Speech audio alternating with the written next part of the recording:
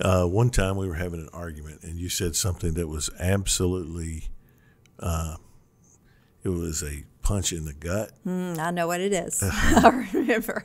I remember. Well, I'm going to say it like, in case you say something else. No, no. I know what it is. I, I don't want you to say maybe a second thing. No, no. Yeah, what do you think it is? No, no. You go because I don't want to You do don't it. want to do. Just You said you don't treat me as That's the it. weaker vessel. right, You treat me as the lesser vessel. right, right, Oh, those were hard words to hear, right.